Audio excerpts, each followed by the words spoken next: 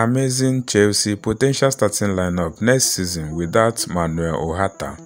Welcome back to my channel Blue fans. Hit on the subscribe button if you are new.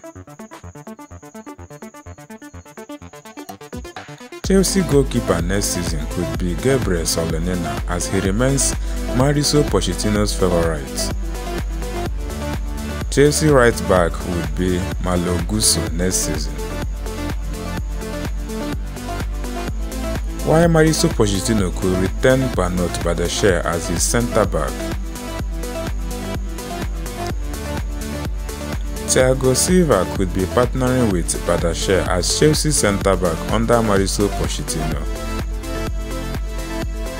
While Lewis Hall remains Chelsea left-back and could bench Ben Chilwell next season.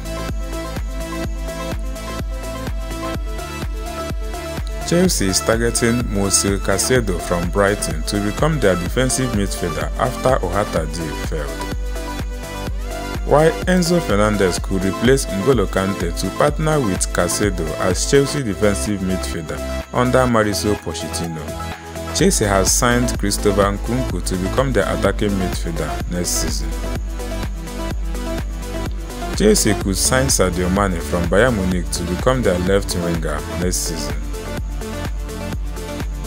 While Raheem Sterling will play the right wing role under Mauricio Pochettino.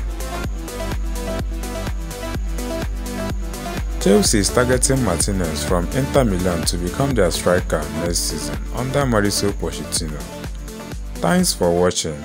Kindly hit on the subscribe button if you are new to this channel. Also like and share this video. Thank you.